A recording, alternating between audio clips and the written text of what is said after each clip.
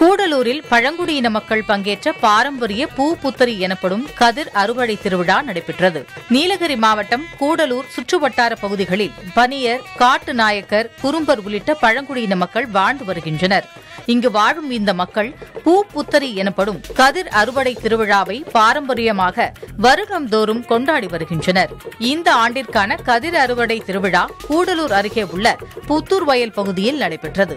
கடந்த பத்து நாட்களாக விரதமிருந்த பணியர் சமுதாய இளைஞர்கள் வயலில் பாரம்பரிய பூஜைகளை செய்து நெற்கதிர்களை அறுவடை செய்து கோவிலுக்கு எடுத்துச் சென்று வழிபட்டு நெற்கதிர்களை ஊர் மக்களுக்கு பிரசாதமாக வழங்கப்பட்டது.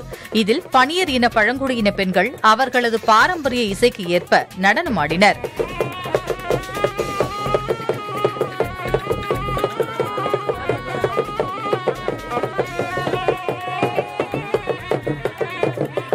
இந்த ஆண்டு கொரோனா காரணமாக மக்கள் பெருமளவில் பங்கேற்காததால் எளிமையாக இந்த திருவிழா கொண்டாடப்பட்டது. இந்த புத்திரி திருவிழாங்கிறது முன்னொரு காலத்திலிருந்து நடந்து வந்தது. அது பயங்கரமாக கூட்டமாக இருக்கும். ஆயிரக்கணக்கு ஆளுங்க சேர்ந்து செய்யக்கூடிய ஒரு திருவிழாவாக இருந்தது. இதுக்கு வந்து இப்பொழுத்த கொரோனா என்கிற ஒரு ஒரு தொற்று நோயால் அதனால் மக்கள் கூட்டம் கம்மியாக இருக்குது. மக்கள் வெ- வெளியே வர்றதுக்கு அச்சப்பட்டு பயப்ப பயந்து நிற்கிறாங்க அதனால் கூட்டம் ரொம்ப கம்மியாக இருக்குது.